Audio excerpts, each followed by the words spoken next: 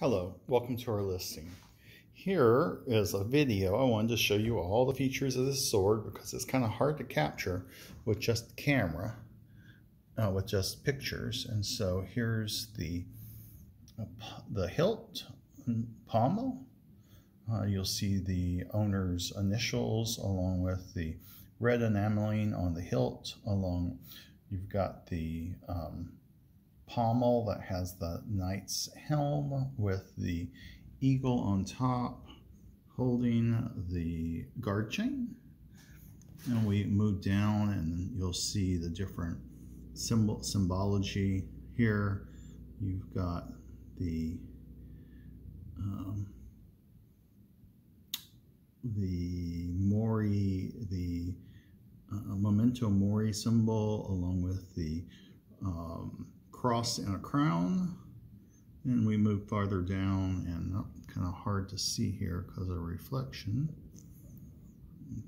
But then we have acanthus throughout. Here's a knight with a shield, the sun in the middle, uh, John uh, Cover's name, name of the owner. And down here on the bottom you have another uh, Masonic cross. Uh, very, very nice. Let's do the other side of the sword.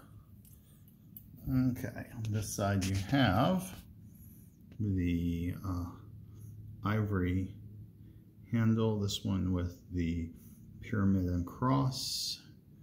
No red enameling here on this side. Here is the MC Lilley Company, Columbus, Ohio, the maker of the sword. Here at the bottom you have a knight in full armor under an arch. Then a set of armor. And then you have, let's see, what is this part down here? Is oh, another knight with a banner. here's the scene I mentioned. Uh, uh, the Crusades. You can see here's the Crusaders and there's the riders with the curved swords and then other buildings with the minarets and the uh, Masonic cross at the bottom. Here's the scabbard ornamented on one side. You got a knight in repose with the uh, sun in the corner with the Masonic uh, pyramid in it. And go down further and got uh, another etched in uh, knight. Here you have uh, looks like knight and scholar. I think that's a scroll. Uh, very very nice. It's not some more uh, armor with the in hoc signo vince uh, of the Templar Knights. And then you have this bottom portion with the crossed weapons and a shield at the bottom. I believe that's what that is.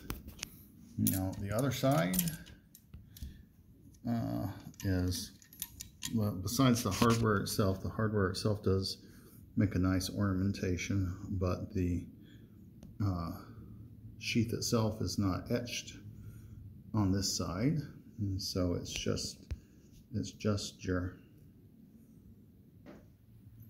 fittings that have the uh,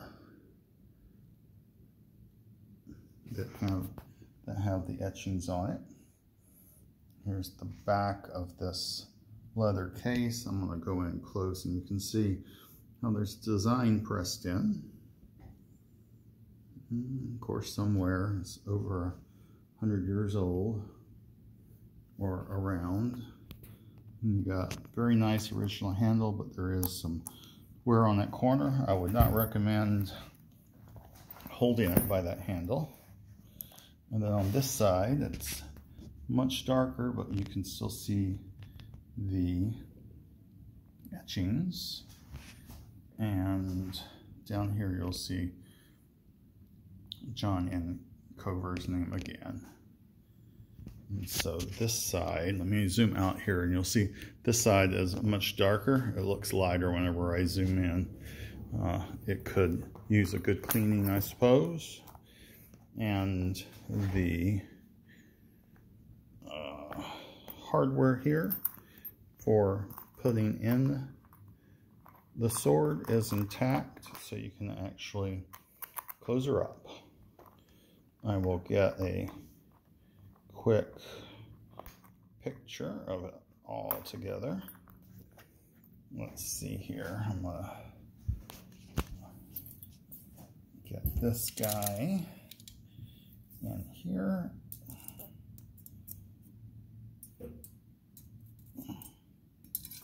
Mm, there appears to be a little bit of, there's some kind of edge here, uh, something on this edge that helps seal the sword apparently.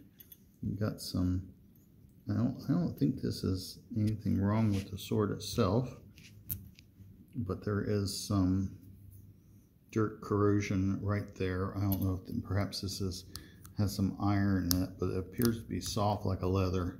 So I think it's more more likely a leather piece. Get this guy in.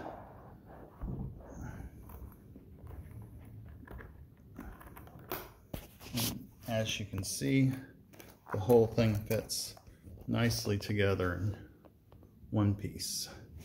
Thank you for looking at our listing. Um, hopes this will make a wonderful addition to anyone's collection. Thank you very much.